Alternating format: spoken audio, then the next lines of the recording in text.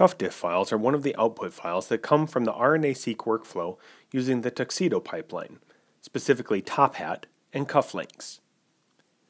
The cufflinks package will analyze your RNA-seq data and provide a differential expression file with the extension gene underscore exp dot diff.